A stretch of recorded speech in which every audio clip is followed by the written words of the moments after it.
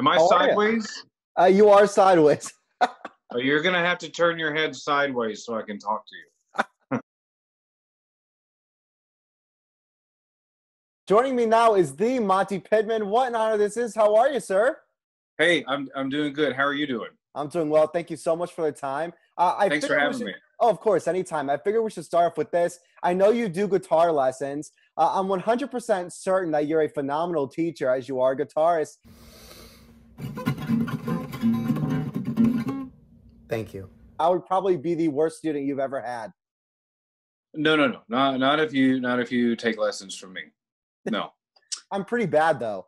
you would be you will be um, you will you will amaze everyone that you know at your uh, guitar shredding skills after after uh, taking lessons with me.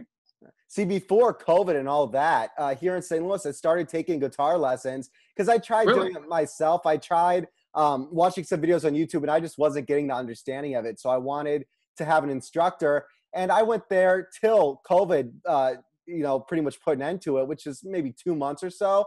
And I was pretty horrific, but I learned one or two songs. Yeah, see, I, I think you, you should build from the ground up.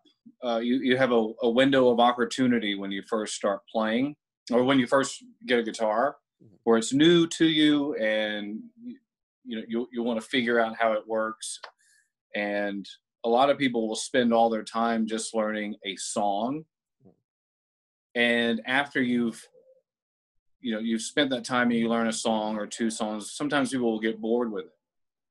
So it's good to learn just other uh, just the way that the guitar works. So you just un- you have a full understanding of it. Um, so a little bit of scales a little bit of chords and then you know just slow, after you after you do that then you're after you learn you know, the chords in a key and just the basic chords in a key then you're going to find so many songs that have those same chords so you're not spending your time learning one or two songs there's hundreds of songs you could play that's that's one of the issues that you could have with YouTube. Like, and what's great about YouTube is you have so much information out there. But then on the other side of it, you know, you don't have someone helping you through it. Yeah. So you could, uh, if you develop bad habits, that can be a real problem later on because you, you're used to using certain fingers, and it's hard to break that habit that you've that you've started. Yeah, for sure, for sure. Well, talking about you, when you first started playing, you were 13 years old. Was being a musician something that you kind of always wanted to do, wanted to be? yeah that's all i've ever wanted to do um since since i was since i can remember. I know since i was three there's photos of me you know uh dressed up you know um and you know had i had like toy guitars. So when i finally got a, my first guitar i understood how it worked. You know i know that you could just push your finger down and at least get some sounds and make a melody that way. Practice is obviously essential, but you felt like it did come very naturally to you. It did, yeah, because I wanted to do it so badly. That's all I thought about. I mean, I, I never, you know, and I, now looking back, I wish I would have had some other um, thing that I pursued, sort of like like what they say to fall back on, but also I, you know, I would have I would have gravitated to that at one point. Why is Which- that? Um, because with music, everything goes in cycles from the way that the note go, the, the way that the notes actually work, to the styles, and if you, um, you know, there there could be times where it, it it's uh, doesn't seem like a great time to be a musician. I may have gone and and done something else, and then you can kind of abandon it. Right. To me, that's part of the the beauty of it is you know when that cycle comes around like you've learned so much and you appreciate it more Of course, of course. Every action. but yeah that's all i've you ever are wanted to do is is be a musician yeah. You know what I probably could beat you at? I'm pretty sure air guitar. I know there are tournaments for that. I am like fairly certain that I would win however much money. Uh, I mean, like, I'd, I'd, let. I'd let you have that one I'd let, you, I'd, let you, I'd let you win that one are there actually or- tournaments for air guitar? I, I, don't- I, I don't know i'm Oh. not sure or uh, uh like guitar hero those the games you know Yeah. because i would play those and it's like uh, you know like i was i would lose and like no wait you're wrong i'm right that's the way it goes uh, I've not played Guitar Hero in such a long time, but I did have a lot. I know. I'm that. talking about something that doesn't even like. I don't even know if that still exists. I'm pretty, sure, I'm pretty sure it does. Well, before we talk about Madonna, I think oh. I, I I think I came across in research about you that you were in a band with Adam Lambert. Yeah, we played together before he was on American Idol. Huh. That is eh, to me it's see, and I'm not really a part of the music world besides interviewing musicians, but I feel like it's such a small world, you know? It is, yeah. Well, that came from uh, I used to do the. There used to be these shows. Uh, it started out. It was called Club Makeup, and it was the first Saturday. I think yeah, I think it was either the first Saturday or last Saturday.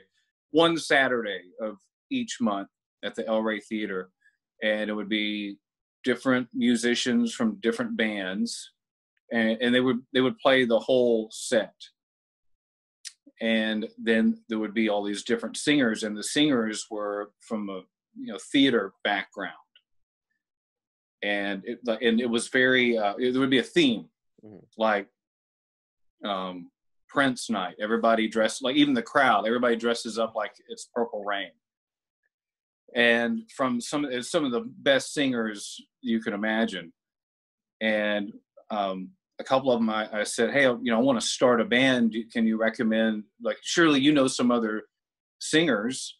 Like, who's somebody you'd recommend? Who's the best that you know? And they recommended Adam, and then some mutual friends introduced us, and we started playing together. And we didn't get to do we uh, we would write a lot over the internet. Like, I would come up with some riffs and send them to him. He'd come up with some vocal ideas. We played some shows but uh, it, it, was hard because I would go on tour with Madonna. He was in Wicked, and so he would travel for that. And then Tommy Victor from Prong was playing bass, and he was also in Ministry and Danzig. So we were all in different. Pl- it was rare that we were in the same city at the same time. And then he went on American Idol, and then afterwards I played for him, and then he joined Queen. And yeah. everybody goes their their ways. It must be so cool to see his ascend to uh, greatness. I mean, he is absolutely uh, incredible. He is, yeah, yeah. We got to hang out uh, a little over a year ago and catch up a little bit. So that that's cool seeing him come so far. You know, from a distance. Yeah. You know. Absolutely, absolutely. Well, you are widely known as Madonna's longtime guitarist. I was reading a little bit about how that came to be. Can you take me on that journey? T- tell me the story of how you guys uh, met. How much time do we have? however much time you want. Uh, well, I I started giving her guitar lessons, and that's that's where it started. And about um, it was about a month after. Um, it was about a month after she first started taking guitar lessons. She invited me to play on the David Letterman show, and then I would just travel. Uh, like if she went to London, I would go to London, and I would just teach her and then she was going to do a, another tour. She hadn't toured in seven years, so she did, she did the Drowned World tour, and she asked me to go on tour with her, and I just kind of figured that would be it. Like I would do a tour with Madonna and then see what happens after that. But still, still here, twenty years later now, which is what's crazy for me is to have this um, this this timeline, and, and you think about how fast twenty years goes by when you look back on it. Yeah. Yeah. But and just, you know, imagine another 20 years of yeah, it'll it'll seem like that. Yeah, of course. Of course. Now when she initially started taking guitar lessons with you, were you kind of like starstruck cuz she is obviously really famous and was at the time too? No, see before that and maybe that was maybe that played a part in it. Um, but before I started teaching guitar lessons, I, I just moved to LA from Texas, hmm. and uh, and I worked at a music store, and I, I, quit to start teaching because we did there were no guitar teachers, or there were guitar teachers, but people would come back in and say like, "Hey, you got anybody else's number?" um, and so I was like, you know what? I'm gonna quit working and I'm just gonna start teaching. And I'm gonna just it was taking a huge chance and um, and so that that's that was the the segue from that. But, but from working, it was at Guitar Center in Hollywood, So there were there were famous people that came in all the time. You you get used to it. Yeah, man. It wasn't. is she so was cool. just another person, and although that she's uh, such a, a massive star, it it it was it was cool, you know. But it wasn't like if I had gone uh, to Ozzy Osbourne's house or something like that, and I'd be scared out of my mind, you know.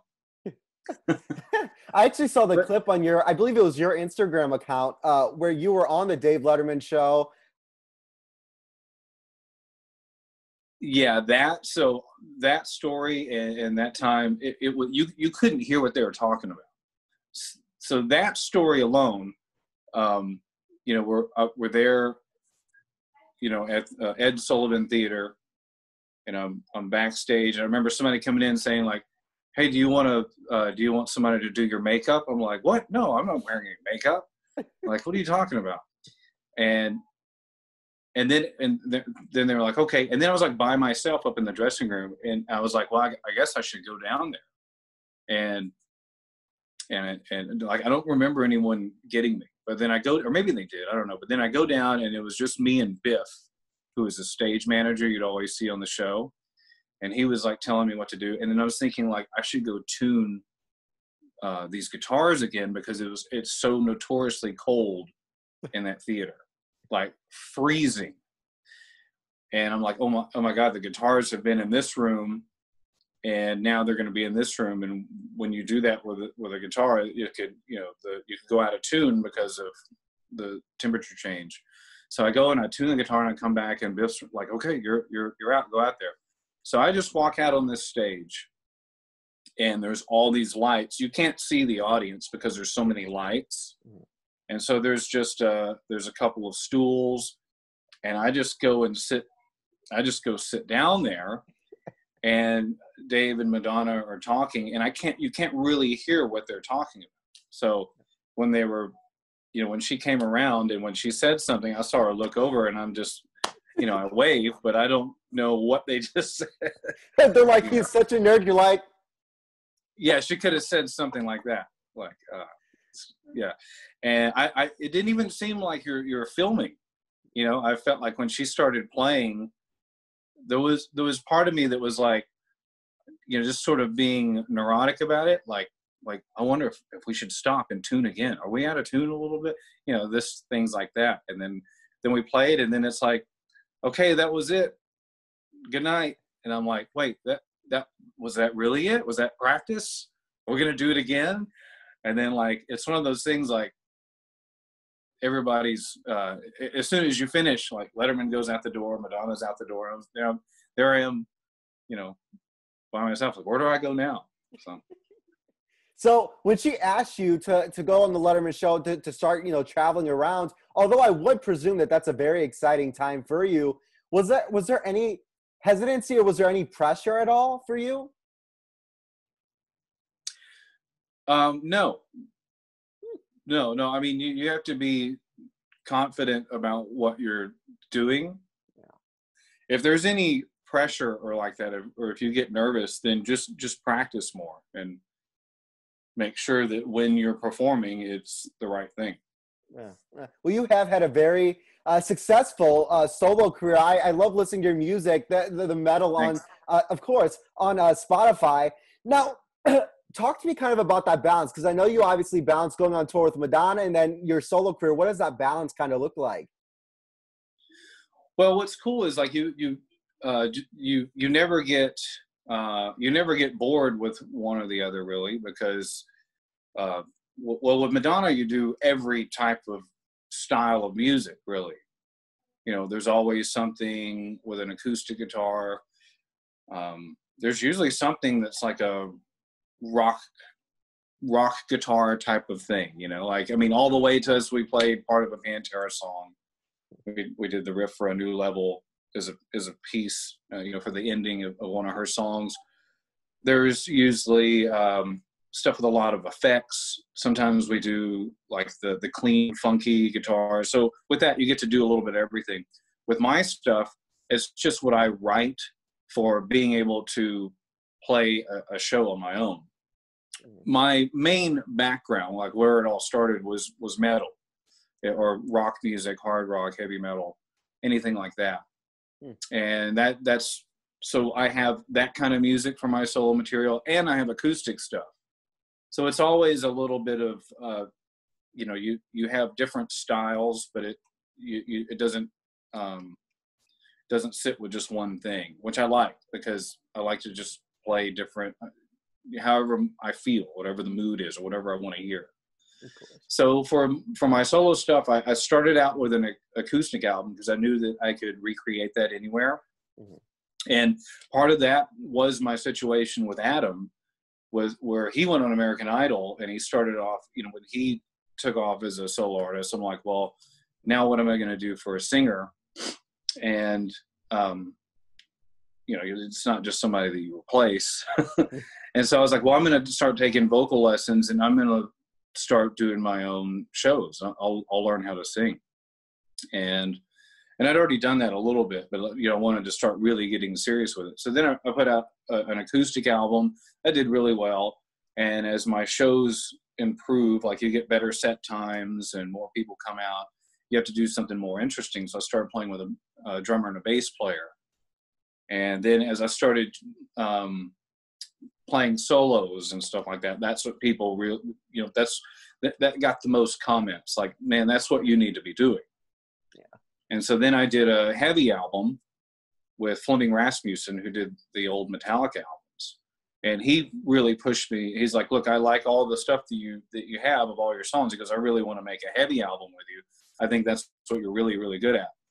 And so I did that, and I get I, I played the album from for Brian Slagel from Metal Blade, and then he signed me to Metal Blade. So then there it you know there it is. I'm, I'm on a I'm on a metal label, and the the last thing that we released we we did a a heavy album and an acoustic album.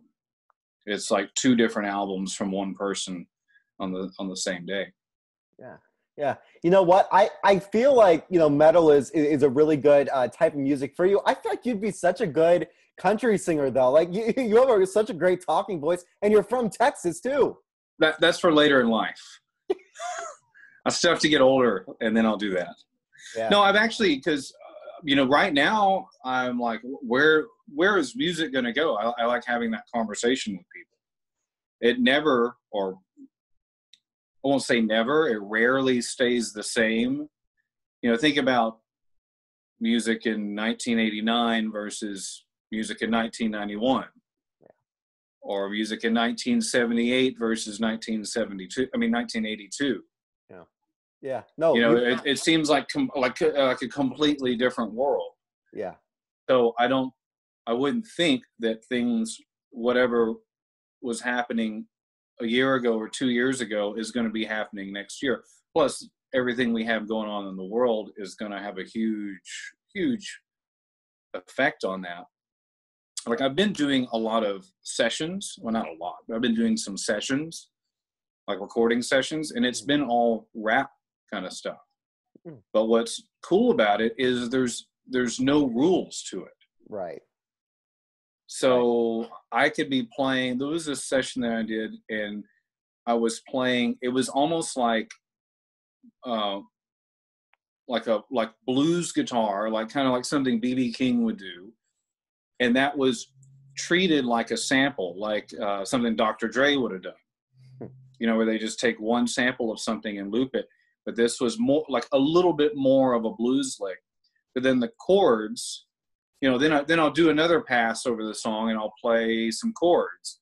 And the chords were kind of like something that Hall and Oates would use. You know what I mean? Not just standard chords, just a little bit more advanced chords. And then all of that goes over a, a rap song. Huh. That is so, so that, cool. That's really interesting, you know, because it's it's not something that's ever that is something that's never happened before. Yeah yeah. That you, you could say that that type of music. So there's that. For for me for like what i've been writing i've just been trying to write. For a while i just turned it off and, and i have to do that uh, for a while.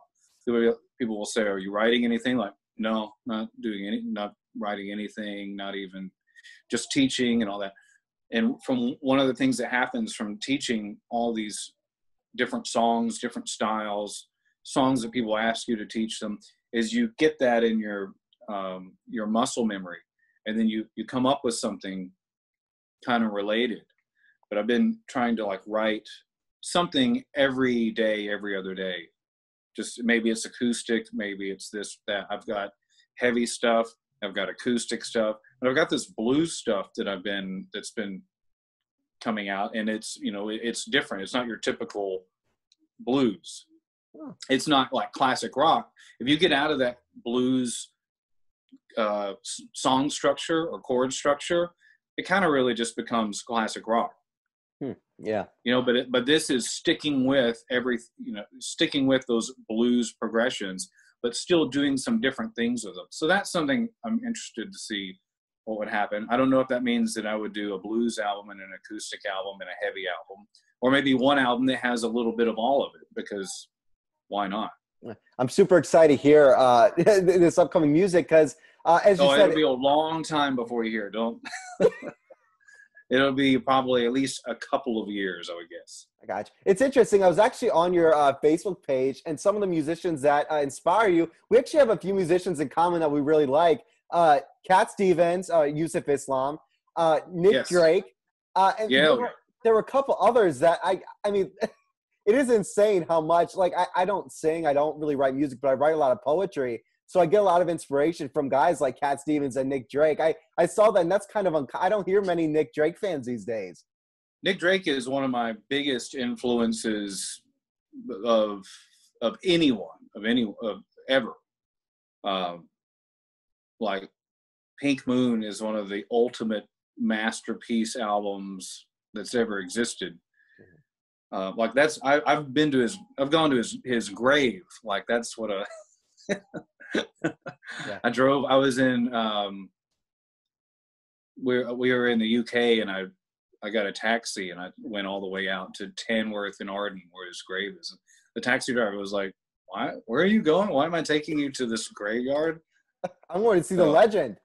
Yeah, and I ha- I um I got this in 2003, I think it was, but I, I got a 1965 Guild M20. It's the same. Uh, that's what's on the cover of Bryter Layter, where he's sitting in the chair, and um, it, it's I mean, it's not that guitar that that I know of. Maybe I mean I don't know what happened. He traded that guitar in on Denmark Street in London for the guit- for a D 18 and that's what he used on pink moon Oh. so i so the story goes uh, but anyway yeah so i got a i mean i got a guitar like what he has some people say that that guitar was just used for the photo anyway it's a killer guitar so Oh my. that's the guitar that's the guitar actually that's at the end of like it or not from madonna the last song on confessions on a dance floor Huh. the That one is- that goes uh, is the part that goes. Um, this is not it, but um, Huh. That's one. Wow. And the other musician that I saw we had in common, uh, there's one more, and I'm trying, Jim Croce. Oh, another amazing. Yeah, see, some of those acoustic guys, I think that is so just fascinating how they had such a career with doing acoustic music. Mm. Some of that, some of that Cat Stevens stuff is pretty complicated for for uh, for what he's doing with his chords. It's not necessarily just easy G, C, and D kind of chords. Some of that stuff is really tricky. Like America, it's Oh. another another band like that. And you know who? There's people always think this is funny when I say this, especially people who know me from metal stuff. John Denver. I love John, John Denver. Denver. He was no joke. He was no joke. Um, yeah, John Denver to sing and play the guitar like he did. That's uh, pretty impressive. Absolutely remarkable. I absolutely love John Denver. Well, tell me, although of course the best is yet to come, tell me some of those highlights over the course of your career. What are some of the most memorable moments that pop into mind for you? Um, the the one I always mention that the you know the first thing that comes to mind just that that pinch me moment is Live Earth. That was July seventh, two thousand seven. It was at Wembley Stadium in London, and we were the last act to play. And Spinal Tap played in the afternoon, and they had sent out uh, like a, a, memo to all the bands that anyone who played bass to come play Big Bottom with them. And we all could play bass, everybody in Madonna's band. And so we all, uh, so uh, Stuart, who was the keyboard player at the time, he lived in London and he had, he played bass too. That was one of his main instruments. And then, so uh, we all, the, the drummer, the keyboard player, uh, you know, I had a, I had a bass and we all played with, with Spinal Tap at Wembley Stadium.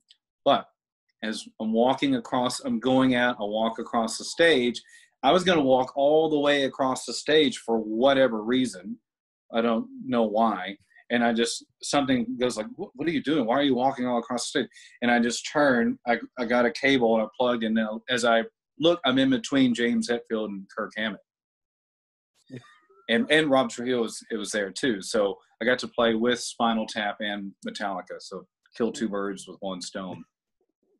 That's phenomenal. And I just, I had just the showed Super the, Bowl? I just showed the, I just showed the song to Metallica. Because Rob came up and he goes, "Hey, do you know how the song goes?" And I'm like, "Yeah." I showed it to him, and he shows it to Kirk. And um, yeah, so that was. Uh, I just saw Kirk recently too. I, I forgot to bring that up. Um, I sometimes you just forget about these things. The, the Super Bowl was really cool. That goes by so fast you you don't even you know as soon as you realize wow i'm, I'm playing the super bowl it's like oh okay that was it. Because i think the whole thing's around 10 minutes give or take. And they have somebody to take like there was somebody to carry my amp you know and you know, the, the, that's their job is you take the amp and you put it here and it's it's such a machine is as soon as the as the second quarter ends, everybody goes to the field and just puts everything into place. You only have whatever the timing is for the commercial breaks. Maybe that's 15. No, no, no. That's like eight or 10 minutes or so. I don't really remember. And then you go and you play. And so that was cool. That's one of those things where you can, you, you, you look out and um, yeah, you you think like everybody that I've ever met in my life's probably watching this right now. Yeah. Think about that. Like everybody you've ever met is seeing that. Yeah, that would have made so me that, nervous. That's the trip. Um, th- there's always um, well, when I went on tour as a solo artist, when I opened for Sebastian Bach, that was a great experience. That was hard. That tour almost killed me. It almost killed us literally a couple of times. But um, so sometimes you're risking your life to do this stuff. But we were in, we rented this vehicle from a friend, and uh, it, it, it didn't work. So he would just break down in the middle of the freeway and almost get hit. like we were driving, and all of a sudden I'm like, I feel like the lights are getting dim, and uh, and all of a sudden we just lost power and almost got hit by a 18 wheeler on a dark road. Like those kind of those kind of you think about those kind of memories too. But uh, great great shows with sebastian and uh, also went on tour opening for Tony MacAlpine. You know you know who he is? The guitar the name player? is familiar. And my cousins played with me they were my drummer and bass player so that that was cool to be able to tour with your with your cousins um, you know, as far as those, those are the main things that stick out. Live Eight was also really cool. Uh, I got to see Pink Floyd hmm. play. Um, you know, that, and that was the last time they ever played together. Huh. Which was a that, that was cool. Um, and at after the show, I was standing around backstage, and it was at Hyde Park, and we were staying across the street. And everybody had said don't don't leave by yourself. Don't walk through the park at night. Wait for some so i was going to wait for some of the crew to walk with me. And i had just been talking to roger waters and his manager because we had mutual people that we knew. And they actually his manager said oh i've been i was trying to find you uh, i was trying to find your information we we were actually looking for a guitar player and you had told I had told him a couple of years before, like, well, hey, if you ever need a guitar player, hit me up. And he goes, I needed a guitar player, and you came to mind, but I didn't know how to find you. I was like, oh, great. So then, um, as I'm standing there, uh, David Gilmour comes to Roger Waters and introduces him to his son. And he's like, "Well, this, you know, this is my son." He's like, "Oh, very nice to meet you." And then they're like, "Well, this is great." And I think everybody else they had they, they were with their wives and they're like, "All right, well, we're gonna go to dinner. You want to come with us?" And Roger Waters was like, "No." All right, see see you later. And then they all went their own their separate ways. And I was like, I wish I had a camera. Like, hey, Pink Floyd, can we get a picture real quick? You know, those kind of things, those sort of stories that you you would never imagine really happening. Yeah, you know, there for me. So I I started interviewing athletes when I was 11 years old. I started interviewing musicians maybe at um, 13 or 14 uh, when I published my second book. So I was getting interviews with Foreigner uh, and, and, all these legendary bands, Don Felder from the Eagles, all these people. And when they would pass through St. Louis, I would always want to do an in-person interview and you know obviously get a picture. Uh, and I can't. I think it may have been here at the Hollywood Amphitheater. The Eagles and Foreigner were coming together, and Styx as well, who I'd also got to interview. Uh, and I had interviewed the guy from Foreigner. I, I forgot what instrument he played. Um, but I had no idea that he would remember me. I, of course, I was a young kid. Not many kids were interviewing these bands at the time. But he walked by me, and I didn't even say it. I just sat there. He's like, Matthew Pearlman, we talked on the phone, didn't we? I'm like, like that. There, and then right after that, Mick Jones walked by, and then I got to interview him in person. So that's just one. That, those are just such cool experiences, man. Yeah, there's there's there's people like that who could. I mean, it's it, it's it's not uncommon, I think, to remember people. There are certain people who are like like they say Bono from U2 really will like remember everything about and I've heard that about Bill Clinton too. really? Yeah, I've heard those like that people that they'll remember every little. That's kind of how their brain works and partially how they've gotten where they've gotten. That is super freaking cool. Well, Monte, obviously with with COVID and all that, things are pretty weird. The future is kind of uncertain at this time. But tell me those primary goals for the remainder of the year, 2021, uh, anything like that. Primary goals: just staying healthy, taking my vitamins. Hmm. Um, you never hear anybody talk about that on the news, which is kind of weird. You know, like no one, everybody's like, "Oh, when's there going to be a vaccine?" and when's there going to be this? Like no one says, "Hey, everybody, maybe it's time to, you know, go on your diet, maybe take your vitamins." And nobody's, uh, nobody, you don't, you don't hear any doctors on TV talking about that. But for me, you know, I'm teaching a lot. Like, uh, the, so the last Madonna tour, it technically got canceled. Yeah. Because we, I mean, we still had some shows to do and we played a show. And right before we went on, they had said, "Well, the the, uh, the French government, we're in Paris, and the French government is uh, banned any gatherings of over a thousand people." And then we're playing theaters, you know, that only hold maybe two thousand people. And so you think like, well, what would we do? Two shows? We like play in front of a thousand people, and then the other thousand people have to come. How is that going to work? Um, is everything going to be okay in a couple of days? And it was uh, a day, uh, maybe it was the next day or the day after. We got, we all got emails from our tour manager saying that you know that was it. You already played your last show. I'm working on getting you flights to come back. And so I came back to Los Angeles and uh, after, and I felt I didn't. I felt. I mean, I was. We, this had been going on, so we were all taking the precautions uh, you know, as as it was. Um, but I, I've like I remember I went to the Louvre with some friends, and there's someone spraying disinfectant after each person on the um, on the escalator. And I was like, okay, that, that's good. Felt fine in, in in Paris. I had a layover in San Francisco. There's like hair and crumbs and dirt in the trays. I was like, you know for sure this hasn't been cleaned and with everything going on like like this already you know it's the middle of march and people haven't been taking care of this and so that was uh, it was such a difference getting back to the states.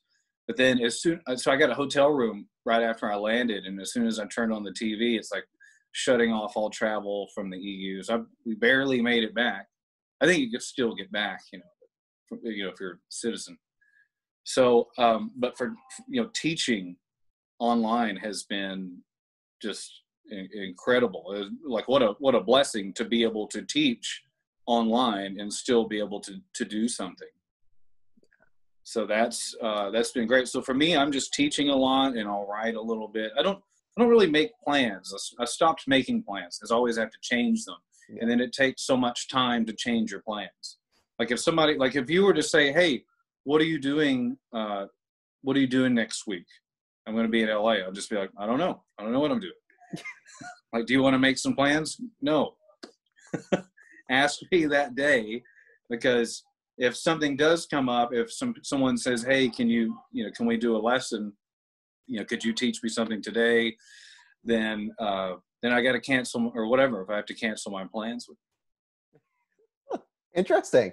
That's a, that's a cool way of living. I kind of don't mind in a weird, bizarre, funny way. Like I kind of don't mind being, you know, having to stay at home. Yeah. I, I mean, you know what? For me, I, I just graduated with my undergrad degree. Uh, and I'm starting grad school now online, uh, obviously here in St. Louis. But to me, although this these are very dark times, this is the most quality time I've been able to spend with my family by far. I mean, I'm, yeah. I'm not taking this for granted.